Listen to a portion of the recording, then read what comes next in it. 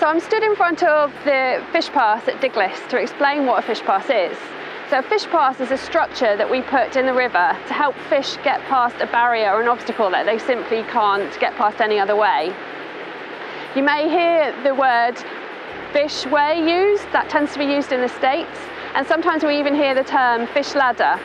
But I think it's more helpful to think about this kind of fish pass as actually a staircase because the structure contains a series of pools at different heights, ascending heights, so like little steps to get up the stairs.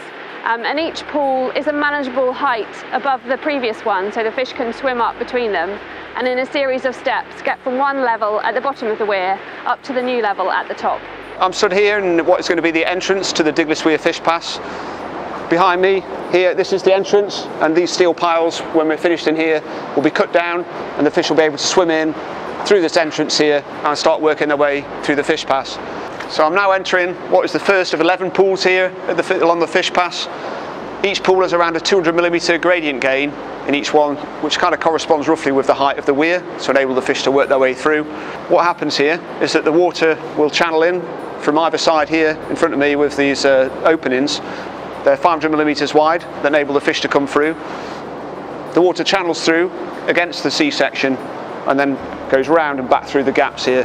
The fish will come through the gaps between the C-sections, which are known as the nibs, and they'll come in here and they typically rest in behind the nib here, have a bit of a rest, and then they'll uh, carry on and work their way through into the next pool and right the way through to the end of the fish pass. So as, as the water comes through, through these sections to allow the fish to come through, it comes off this angled bit of the section there, runs in, into the C section behind us, that breaks up the flow and that enables uh, the break, breaks up the flow, slows it up for the fish, makes it easier for them to pass through.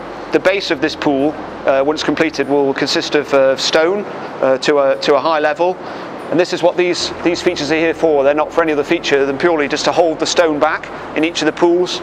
So the stone will come up to this level, slightly below where this, uh, this pillar is, and this, this will hold the stone back in rather than it washing through the fish pass and, and back out. So we have two windows here. A smaller window here on the left, which will principally be used for fisheries monitoring via a camera.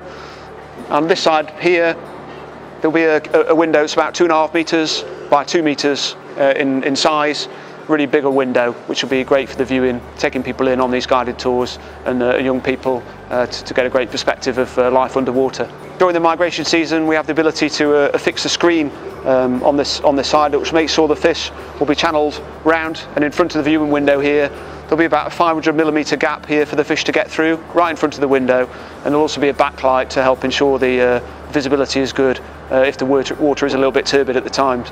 So our viewing gallery with our viewing window will be open to visitors from the springtime, just in time for the migration run for the shad in April and May time.